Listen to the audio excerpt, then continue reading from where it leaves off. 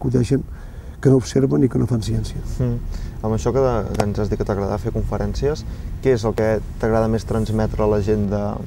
amb gent que no estigui molt posada en el tema, no? en els teus coneixements, què és el que més important transmetre? Transmetre que som mamífers, que som uns primats, que som aquí per atzar, i que ara l'atzar ens ha fet intel·ligents i que és la intel·ligència que, i la sociabilització de la intel·ligència el que ha de fer com un funcioni i millori.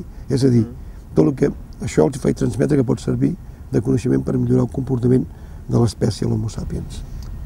Els humans actuals, ara parlarem de que dius que encara no som humans, però els que el vivim ara en aquest moment, creus que estem de sort? Home, cada vegada els que estem aquí sí, els que estan en altres llocs no. Els que estan aquí que no tenen mitjans tampoc tenen tanta sort. Eh? Jo penso que s'hauria de lluitar perquè es distribuís l'energia i la matèria en el planeta, perquè no hi haguessin desigualtats, òbviament, i perquè això faria que molta més gent pogués tenir accés al coneixement, a l'educació, a la intel·ligència i, per tant, poguéssim tenir un progrés conscient i una evolució responsable. I ara que parlem de, de coneixement, d'educació, quina opinió mereix el tema del creacionisme, aquesta història que s'explica? No tinc opinió ni m'interessa. Directament no...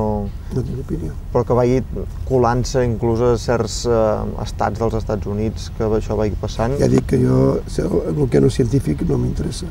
No, científic, però s'explica no com a creient, ciència, no? No soc creient, eh, no, no tinc cap tipus de religió eh, que d'això. Soc catòlic a la força, mm, ara vull apostatar, llavors no, no tinc res que veure amb aquests idealismes ni m'interessen. Mm. I que estàs més desencisat de la religió o de la política també, actual? De, de tot, també. Estic molt desencisat de les coses que fem malament pagats. I les que van, no vagin bé no és només responsabilitat dels polítics, sinó responsabilitat de l'espècie, de tots. Tots som responsables quan les coses van malament. No es pot dir que són responsables uns i tu sempre fer les coses bé. Quan les coses van malament és que algú les ha fet malament. Jo penso que les hem fet malament en general. Que si és veritat és que la política, tal com s'ha fet, a través de, de, de perdre l'honorabilitat, de perdre el nord, ha fet molt mal a la nostra societat. Defenses la, la teoria, la tesi de que els eh, humans, les espècies anteriors, els nostres antecessors que van venir d'Àfrica aquí a Europa i la resta del món, eren els més dèbils. Explica'ns una miqueta aquesta... A veure, els que van venir aquí no penso pas que fossin els més dèbils. Eh? Jo penso que és fruit, molts de casos, de la, ara, d'acord amb l'evolució de la casualitat. Els, els europeus eh, són producte de l'evolució, per suposat, d'africans i asiàtics, i el que està clar és que on neix amb força i on l'espècie ha tingut més consistències en el, en el país originari, en el continent originari, que és Àfrica. Però pensa que nosaltres hem nascut també a Àfrica. La nostra espècie no és europea ni asiàtica, també som africans. Ha vingut d'allà. I, però diguéssim que això que ara, clar, és que és com una miqueta una contradicció, no? que ara nosaltres som d'Àfrica, venim d'Àfrica, però els que ara venen d'Àfrica els hi tinguem les portes, no? Bueno, és una contradicció i una mala educació i una falta de coneixement històric sobre l'evolució, no? Perquè al final som col·legues. Jo em passa al revés, jo que mai a Àfrica em sento a casa i moltes vegades quan estic aquí no m'hi sento. Mm. I a Àfrica també hi ha aquesta passió, també veus, els jaciments són molt diferents dels sí, d'aquí, per exemple. igual. Inclús a Àfrica hi ha la passió del bressol, no? La gent que som conscients de l'evolució, quan estem a Àfrica sentim una cosa diferent ens sentim més vius, més lligats, com si estessis a casa. Al revés de molta gent que diu que això no ho senten.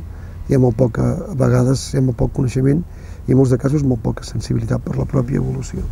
I aquesta teoria que parlàvem ara, que és la primera que diguéssim que no justifica eh, marxar del continent per canvi climàtic, no? Ha generat molta polèmica amb els teus companys sí, de professió? Sí, jo vaig, no, jo vaig emetir la teoria de que la tecnologia i el combat tecnològic va fer que algunes que les espècies sortissin a fora. Jo penso que sí, que és la competència entre homínids que fa que en molts de casos hi haguin desplaçaments i creixements demogràfics, però sobretot el que ho fa a la llarga és la socialització de la tècnica. Eh? La socialització de, de, de coneixement fa que l'augmentar el coneixement hi hagi més capacitat de viure en un entorn, de treure una energia i per tant d'evolucionar. Per tant la tècnica és clau per entendre l'evolució dels humans i es basa en un descobriment.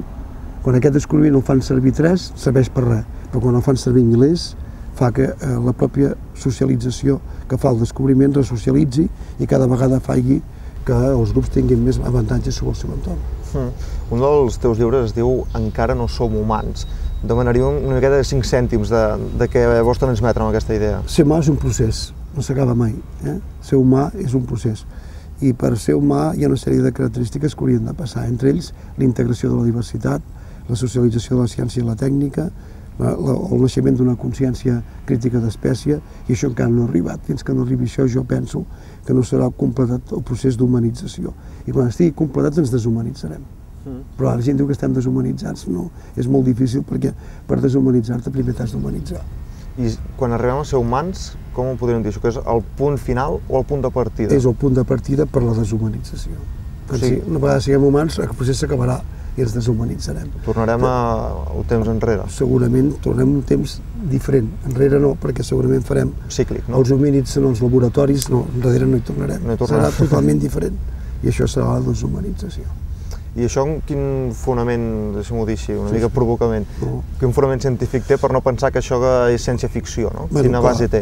Eh, la base té el que està passant. No? De fet, hi ha milions d'humans que han nascut per la fecundació in vitro, hi ha milions d'humans que porten, són biònics, que porten materials incorporats de l'exterior, ens comuniquem per aparells digitals i, ens, i modifiquem genèticament les espècies animals, i les espècies vegetals. Per tant, la meva, la meva és una convicció, òbviament, perquè no és científic, però la ciència em, em diu que això va cap aquí. Mm.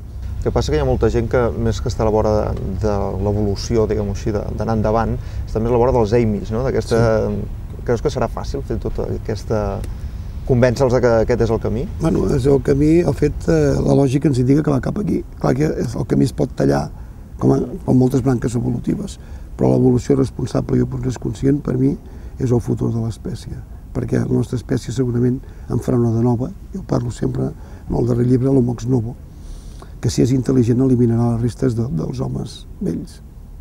Però en quin sentit els elimina? Els elimina en el sentit de que serà, espero que sigui millor, més conscient, més just, més estructurat, més consistent i per tant faria molt bé eliminar la codícia humana, l'enveja, la soberbia, per tant, eliminant-nos a nosaltres. És una reforma més de dins, no? de, més de l'exterior que, que de dins. No? I de tot. És una reforma endògena i exògena, de dins i de fora.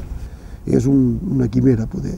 Però les quimeres poden transformar-se en utopies i les utopies es poden realitzar si hi ha gent suficientment intel·ligent i socialment responsable per convertir-les en realitats.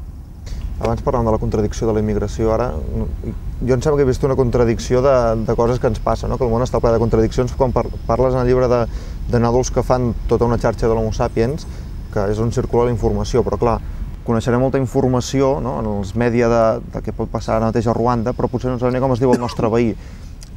Com, com és, és això? És que ja no és tan important conèixer el nostre veí. conèixer el nostre veí era important quan el necessitaves, perquè si feia mal temps i posaves mal a la casa de pagès, era el teu veí que et podia ajudar, ara ja no és així.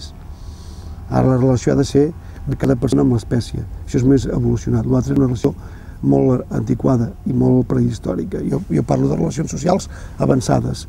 La tecnologia socialitzada substitueix el comportament etològic animal arcaic. Per primer cop, segons explica l'ONU, segons dades de l'ONU, hi haurà més gent vivint a, a ciutats que a zones rurals. Quina importància té aquest fet? Molta, perquè les zones rurals que abans eren els llocs que produïen l'estructura econòmica per viure no tenen importància en el sentit de que les màquines i la, han pres protagonisme. Han pres el protagonisme a les persones i les persones poden disfrutar de l'alta productivitat que té el sistema. El que hem de fer és que aquesta alta productivitat no ens porti problemes com ens està portant actualment en l'organització de les matèries, en el consum, etc. Un consum irresponsable, una pràctica de desgavell energètic i de gaspillage que diuen els francesos podria portar greus contradiccions a aquest procés, a aquest model que jo dic. I una altra contradicció, si només parlant de contradiccions quasi bé, és que aquí al primer món ens hem de primar tots i que allà es morin de gana, no? Això forma part de la falta de consciència crítica d'espècie. Però no creus que, no sé, que la gent del tercer món, conegut com a tercer món, no sé, hi haurà algun esperit de rebel·lió o que estan molt sodomitzats per les empreses Hauria de ser així, però si fan això els mataran. Mm. I tu? No tan sols es moriran de gana, sinó que tots aquests sistemes injustos de primats poc evolucionats que volen, ja ho han fet a Iraq, ho han fet a, a les matèries primes a Dufour, si fan això els mataran. O sigui, no tan sols la rebel·lió d'aquesta gent no aconseguirà que tingui endavant, sinó que els mataran, el capitalisme aquest salvatge que hi ha els matarà per tenir recursos. La gent que pensem d'aquesta manera pensem que la revolució s'ha de fer a la nostra espècie i a Occident i a Àsia, en els llocs on hi ha poders econòmics emergents. I quines són les armes per fer aquesta revolució? La consciència crítica d'espècie, una forma de pensar a través de l'educació crítica de les persones, fent les persones més humanes. Mm. I creus que el, els governs, els polítics estan per això, per no, la inversió que fan en educació, per exemple? No, jo penso que no. Penso que aquesta idea d'una consciència crítica d'espècie no és una idea socialitzada i per tant no passa això. Mm. Um, tornem a, als orígens, al teu poble Ribes de Freser. Què és el, el que més trobes a faltar de... Home, el meu poble és la font d'inspiració de moltes coses, no? I de l'arqueologia, entre altres. I sobretot el paisatge, l'aigua, de les fonts, de, de les pastures, però també de les fàbriques, de les fàbriques tèxtils, la fàbrica de carbur, de les metal·lúrgies, les papereres. És aquesta síntesi evolutiva que jo vaig al segle XX quan jo soc petit. Un poble amb expansió, on les forces del treball i de la cultura comencem a moure'ns per generar una nova consciència social eh, en el meu poble. I recordo després el pas d'aquesta intuïció de país a la intuïció i la perspectiva de, de classe social i de, i de la rebel·lia i el meu pas cap al comunisme eh, els, eh, quan, era, quan era jove. Cada quan hi vas i... Més Cada dos mesos a l'any. A l'estiu una vegada si puc, que és quan treballo més, i per això hi puc anar poc, i per Nadal. Eh? Mm. Encara eren els meus pares, i la meva mare encara està viva, i la meva tia, i, bueno, i és el que faig, anar-los a veure dos, dues vegades a l'any.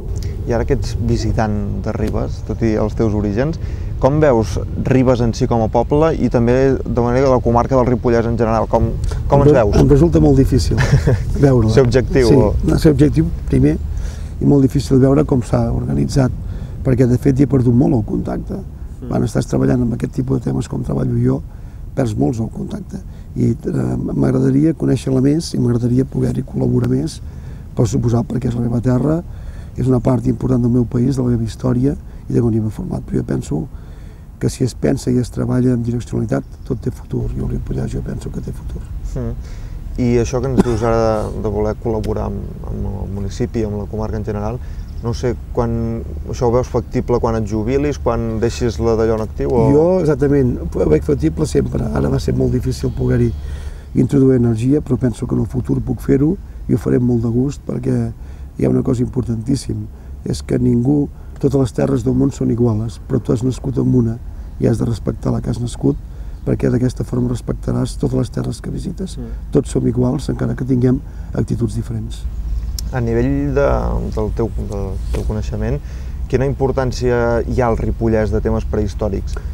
Com Home. tota la zona, vaja, que suposo que fa un milió d'anys la zona del Ripollès S'han fet excavacions, s'han fet moltes coses, però estaria més bé que és més preocupació. Quan es faci el futur museu de Ripoll puguem tornar a posar les col·leccions que havíem deixat nosaltres, les de Roc d'Uranetes, les de, de Rialp, de les coves de l'Estremera, que ja hem deixat allà i que amb, amb el d'Algariells van fer que l'arxiu eh, Museu Folclòric tingués una, una, una part de prehistòria important, a part dels dòlmens que, que hi havia abans de la Pertinella i altres llocs. Això va ser una aposta nostra perquè el Ripollès tingués història abans de la història. Mm. Deixa'm demanar-te perquè sempre eh, hi ha fotos per internet, sempre vas amb barret. Què és degut a aquesta passió, diguem-ho així?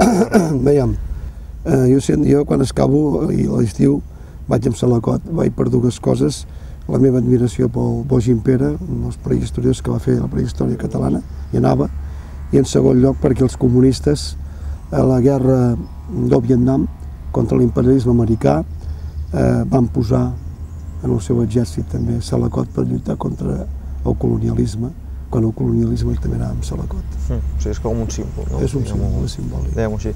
I l'última pregunta que et vull fer és si aquesta col·lecció de fòssils marins que tenies encara la conserves? Està perdut, o... no s'ha perdut.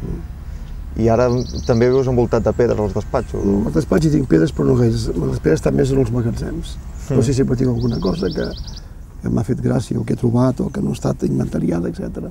M'agrada estar rodejat de persones, de pedres, de llibres